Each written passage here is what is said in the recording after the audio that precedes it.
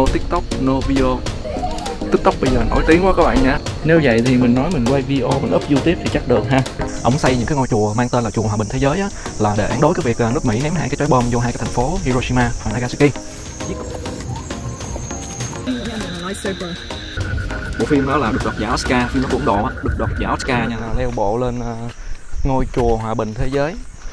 Đây là ngôi chùa số 70 trên tổng số 80 ngôi chùa có trên toàn thế giới này Lối lên bằng đá. Mình ở ngay dưới chân của uh, uh, ngôi chùa chân của ngôi đền mà có ngôi chùa. À, cái đó cái lối đi lên này á là cái lối đi nội bộ của riêng cái uh, chỗ mình ở thôi. Chứ nếu mọi người đi chùa này á mọi người sẽ sử dụng xe để đi. Trong khi hôm nay mình sẽ uh, lội bộ lên nha các bạn khá cao á.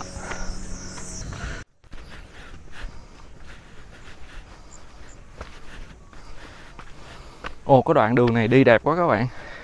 Cái kiểu ờ, đá Đá tự nhiên chứ không phải là cái kiểu bậc thang mà người ta hay xây chùa Bên phải là Một cái hồ tự nhiên luôn. Dạ, yeah, beware of dog. Cái này nhà của người địa phương nè. Nè bé nhìn, bé quay thử cho mọi người nhìn nè. Thật ra cái trên chỗ mình ở đó Cái nhân viên phục vụ cũng là người địa phương đó các bạn. Bây giờ mình đang đi là lúc uh, ờ, 5 giờ mấy? 6 giờ. 6 giờ chiều. Mà trên đây trời sáng trưng à. đây những cái ngôi chùa nó nằm trên đỉnh núi luôn may mà chọn đỉnh núi 700 mét á. Chứ mà chọn ngọn uh, Annapurna 8.000 mét thì chắc chết á mình đang ở trên một cái trạm dừng chân ở trên cái ờ, đỉnh đồi nè. Ok mua chai nước ngọt uống các bạn đi mệt quá.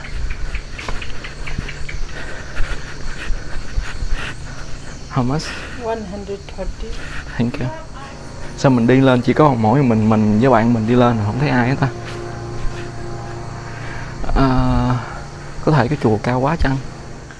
Cứ thấy nói là sắp tới chùa rồi mà cứ đi hoài không thấy các bạn 6 giờ rồi giờ mà không đi á Một lát nữa 7 giờ tối có thui á.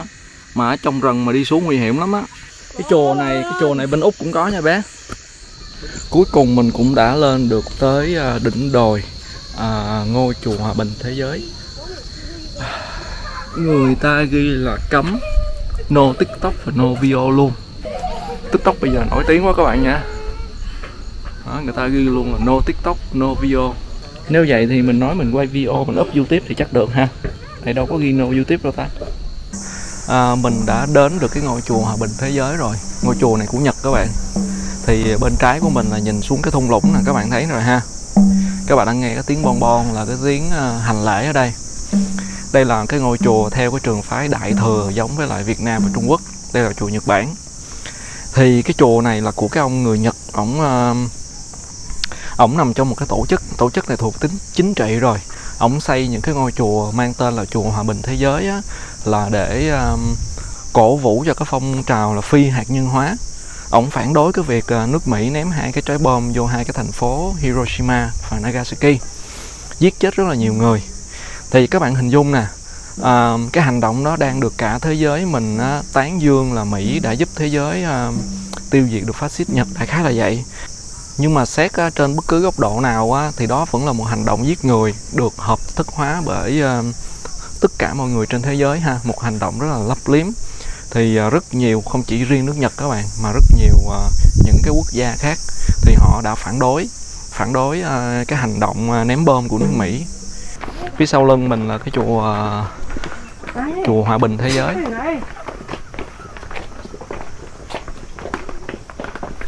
ngôi chùa không có welcome mình mà họ được sinh ra để dành cho những người hành hương tới donation.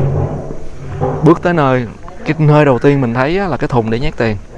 Bước vô bên trong cấm quay phim cấm chụp hình cấm mọi thứ. Còn cái ông người nhật thực ra ông chỉ tới ông đặt một cái hòn đá nhỏ lên trên cái mảnh đất này thôi. À, và lấy cái tên ngôi chùa Hòa Bình là của ổng nằm trong nhóm 70 trên 80 ngôi chùa. Mình tới đây mình không có cảm thấy được welcome một ngôi chùa không có được welcome các bạn nhìn cái à, cổng ngôi chùa. Nó ở trong chùa có bảo vệ các bạn. Lần đầu tiên mình thấy chùa có bảo vệ và mặc sắc phục. À. cái thùng donation nó bám theo mình à, nó từ ngay cái chân đồi lên cho tới cái chánh điện luôn.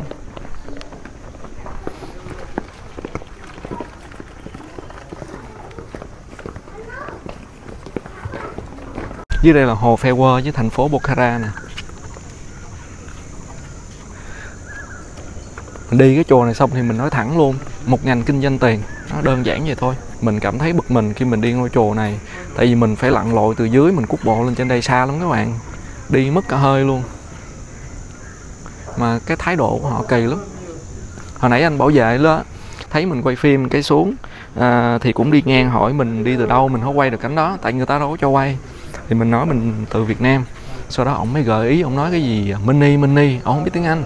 Ông cứ nói mini mini mini mình á, thì mình nghĩ là chắc là à chắc tụi bay người Việt Nam đến tụi bay phải đóng tiền vô uh, vô cái đền. Rồi ông hỏi small, big small big à, tên của người Nhật ghi ở trên nè. Nippon San. Có có bảo vệ. Chùa Nhật Bổn. Công ty quốc danh chùa chính xác. Temple Close. Vẫn còn nhiều người lên vẫn còn người nhiều người đi lên cái uh, chùa. Chưa bao giờ đi một cái chùa nào mình cảm thấy bất trong người như vậy các bạn. Thái độ cách thức kỳ cục kỳ khôi. Bắt bỏ dép từ ngoài sân luôn. Từ ngoài sân chứ không phải là vô đền các bạn quá đáng. Chùa mà để tượng của một người khác tạc tượng để trong chùa là thấy nó nhảm rồi. Ơi chó chó đây ăn chay mà. Chủ nó ăn chay thì sao mà nó được ăn thịt được? Chùa này là chỉ là chùa kiển thôi, mình đảm bảo. Chùa này chỉ là chùa kiển, xây lên để làm du lịch và xây lên để lấy tiền. Chính xác. Các bạn qua đây các bạn nên đi chùa này thử một lần để biết ha, hình dung nha. Chùa chán quá, cái chùa mình ngồi mình nghiên cứu cũng nhiều lắm.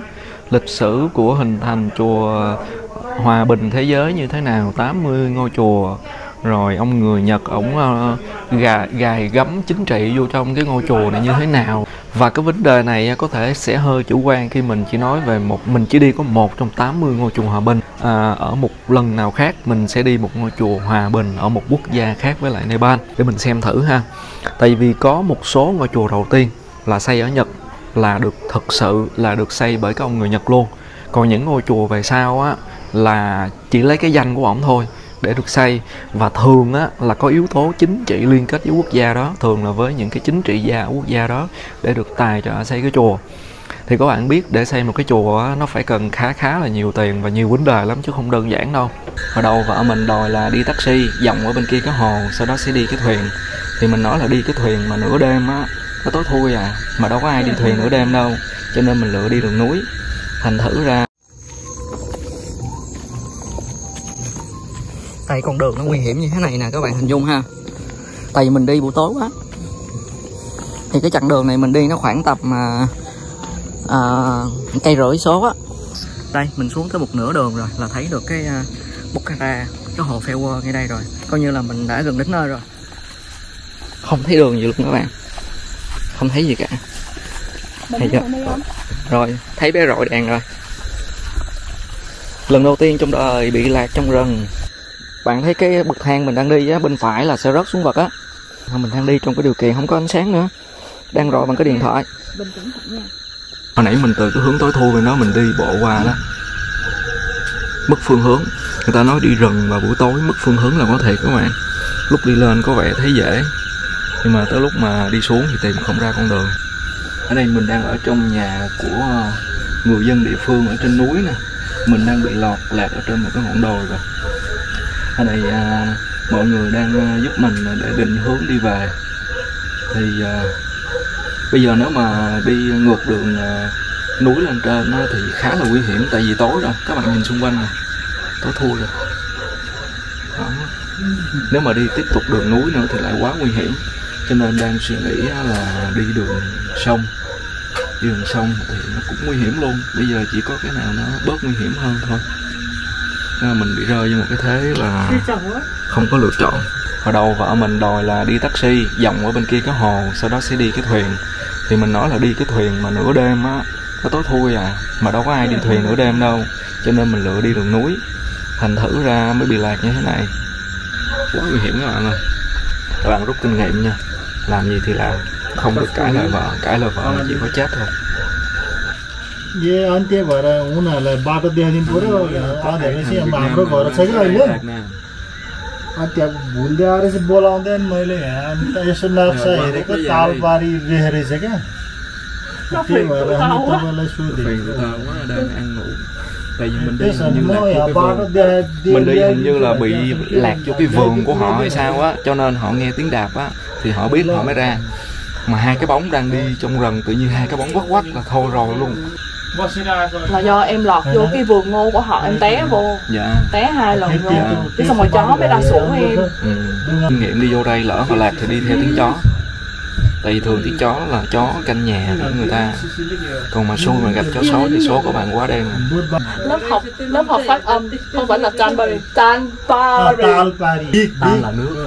Tan Paris Paris this side yeah. Okay got it thì thường ở đây họ hay nuôi bò nhưng mà họ sẽ lấy sữa chứ không làm thịt bò nha các bạn. Lấy sữa thôi không ăn thịt bò.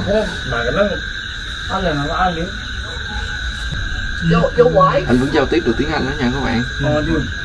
Your, your brother. Vợ, anh And your puppy Puppy giờ trời đang hơi râm râm mưa cho mình nên mình đang còn ngồi đợi đợi phương án để đi trở về. Well, no, no, this boat. Only boating Yeah, We this gonna- lodging, no, no problem. This walk, no. Anh nói bây giờ đi Bây giờ- đi đường á, người dân địa phương đi còn nguy hiểm nữa. À, Cho nên đi mình tàu. chỉ đi thuyền thôi.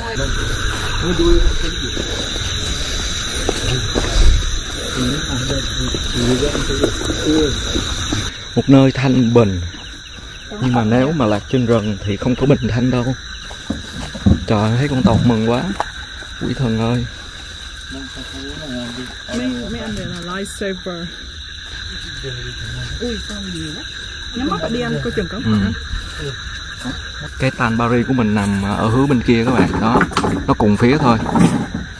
Và đi lên trên đồi á sẽ là cái chùa Hòa Bình. Hồi nãy mình đi lên đó và mình đi xuống thì mình bị lạc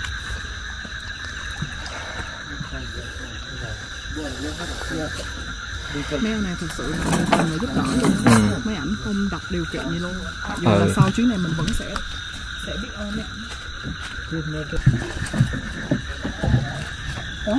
Dạ. Ui, dạ. thank you dạ thì tất nhiên phương án của em em biết là phương án của em sẽ tốt hơn nhưng mà em vẫn xui theo ý anh dạ tại vì anh phải trải nghiệm qua thì lần sau anh mới không dám chọn phương án này luôn dạ đó gọi là bắt bẻ đó bắt mình phải đặt vô tình huống xong rồi mình mới giải quyết được.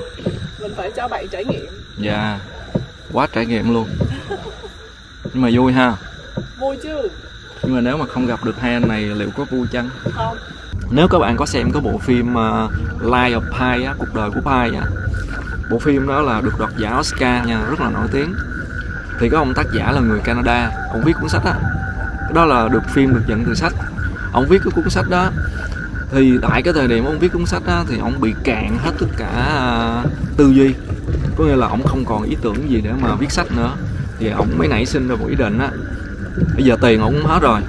Ông quyết định là đi qua Ấn Độ. Đó là cái nước đất nước rẻ nhất khi mà ông cầm đồng tiền Canada để mà đổi ra. Ông quyết định ông qua đó. Và ông ở bên đó mấy tháng á. Ba bốn tháng hay nửa năm gì đó. Sau đó ông cứ đi vòng vòng vòng nó hoài. Ông nói là ông đi khi nào mà ông uh, ông có thể viết được một câu chuyện mà ông cảm thấy hài lòng. Thì ông sẽ rời đi. Và ông tới cái thành phố uh, thành phố gì mà hồi xưa là thuộc địa của Pháp á. Bon Bon Chiri gì đó mình không nhớ lắm. Ông ở đó mấy tháng. Và sau đó ông viết ra cái cuốn sách đó, cuộc đời của Pai và nó trở thành cuốn sách bestseller. Nó đạt uh, giải nhất của cuốn sách uh, của cuộc thi Man Book á, Man Booker. Đó là giải thưởng cho quyển sách mà viết tiếng Anh hay nhất thế giới sau đó thì nó được dựng thành à, bộ phim Life of Pi và nó đoạt luôn giải Oscar luôn. Các bạn thấy kinh khủng không? Tức là khi mà con người ta thay đổi một cái môi trường sống thay đổi một cái điều gì đó nó khác lạ đi á tự nhiên những cái điều mới lạ nó sẽ ập đến. Các bạn xem bộ phim đó các bạn sẽ thấy được nhiều cái điều nó hấp lạ hấp dẫn và kỳ lạ lắm. Hấp lạ? Ừ. hấp lạ có nghĩa là hấp dẫn và kỳ lạ. Một câu chuyện rất là Hollywood nhưng mà mang đầy tính kỳ bí của nước đất nước Ấn Độ anh kể em rợn người luôn á. À. Ghê ha có những người lạ kỳ có những đó. người làm lên cái thành công vĩ đại mà phút cuối mà không ai biết không thì bữa có bạn comment á à, nhiều lắm. Nhiều người khi người ta đến à, những cái xứ xa xôi. Không phải ấn độ không các bạn. Nepal ấn độ bhutan những cái đất nước mà nó nghèo khó nó kỳ bí tây tạng. Không phải là do những cái môn giáo đó làm môn uh, tôn giáo hay những xứ kỳ bí đó làm cho bạn phát triển đâu mà bởi vì bạn thay đổi. Những thứ như thế này là mình thay đổi đúng nha. rồi ví dụ như ngày hôm nay đúng không? Các bạn nếu các bạn coi hết tất cả những chuyến đi của mình ở Nepal các bạn sẽ thấy mình ú chắc con gì hả bé? Không sao đâu. Mình chê trách nhiều thứ đúng không? Có nhiều thứ mình chê trách có những thứ thì không. Nhưng mà cuối cùng trong tất cả video bạn phải nhận ra rằng mình luôn nói rằng người Nepal là một trong những người mình ngưỡng mộ về cuộc sống của họ. Đó là lý do tại sao á, người Nepal luôn luôn là người hạnh phúc. Tại vì bản thân họ hạnh phúc dù họ nghèo, đúng không? Ô, mình đã đến rồi. Mình đã đến rồi các bạn ơi. Đây nè. Đây là nơi mình ở. Các bạn thấy đèn đóm chưa? Ồ chúng ta đã đến rồi. Appreciate. Em đưa cho em mỗi anh. em còn 3 ngàn tiền mà em đưa cho hai anh 3 ngàn nha. À ok đưa hai ảnh ba ngàn đi. I appreciate You saved my life. compared to what you help us yeah. You are the best. We climbing to the stupa and we walk to the stupa and we lost. We did not we lost. With no light no direction. And then we almost fell out. And then we found some local guys and they're helping us. They are taking a boat Mm-hmm. dùng quá. Chuyến đi dùng. Nếu mà chuyến đi mà không có những chuyện như thế này thì đâu có gì là hấp dẫn đâu.